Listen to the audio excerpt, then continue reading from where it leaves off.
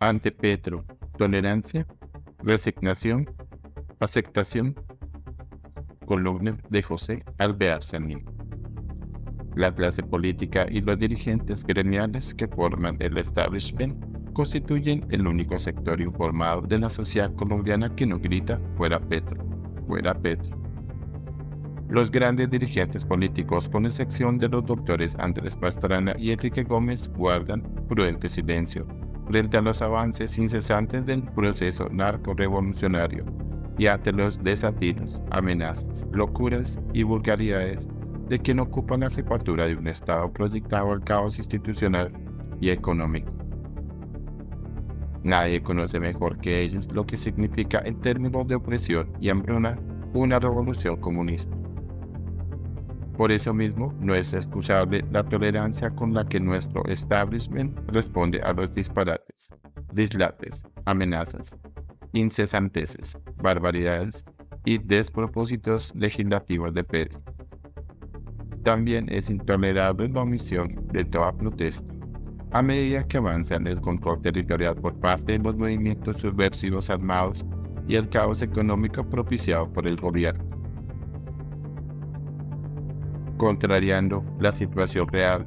Business and usual parece ser la consigna de quienes, resignados ante la pérdida del poder, no tienen preocupación distinta a conservar algunos girones de influencia o de propicuos negocios. Por tanto, no se hace la unión indispensable, patriótica, generosa y sobre todo urgente para que se unifiquen todas las fuerzas democráticas bajo un único líder capaz de conducirlas al triunfo si hay elecciones libres y respetadas en 2026. En cambio, con cada jefe por su lado y con docenas de candidatos, el país va a repetir muy probablemente la tragedia de 2022. La única y remota esperanza de que Pedro caiga reside en el Consejo Nacional Electoral CNE, porque si algún día se aprueba la acusación por la astronómica violación de los topes, se abre la posibilidad de que opere el artículo 109 en local. Pero el CNI está solo. La dirigencia política no se manifiesta en su apoyo y los grandes medios callan sobre su el asunto. ¿Será que el CNE está amedrentado? ¿O teme provocar una repotenciada primera línea que, formada por terroristas, incendiarios y mingas, salga de la Universidad Nacional para propinarle al país el autogolpe petrista?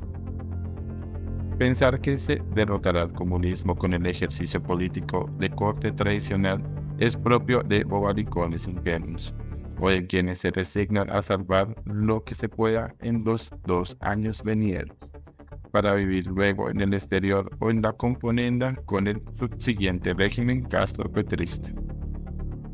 Quizás por esa actitud no existe oposición real al gobierno, ni política ni gremial en vez de organizar congresos de defensa empresarial, se sigue invitando a Petro a las asambleas gremiales, a las que acude para proponer locuras y agredir a los medrosos ejecutivos, que siempre manifiestan su disposición de colaborar y dialogar con el gobierno. Y en el Congreso se acusa los proyectos más disparatados, en la esperanza de corregirlos un poquito. Los parlamentos, contrariamente a lo que se cree, no son para expedir muchos estatutos, sino para impedir que las iniciativas absurdas se conviertan en leyes.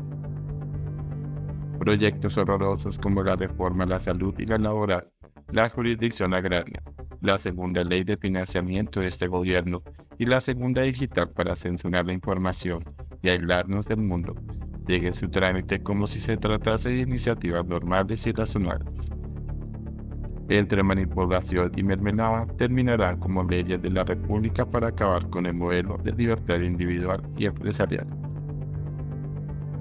Los proyectos aberrantes no merecen deliberación alguna, pero un Congreso mediocre, por decirlo menos, es incapaz de abortarlos antes de que sean expedidos para dañar irremisiblemente al país. Enrique Gómez Hurtado, estadista menos conocido que Álvaro, pero más antipático, decía que en el derecho público no existe borrador, porque cuando un absurdo se convierte en ley sigue perjudicando siempre.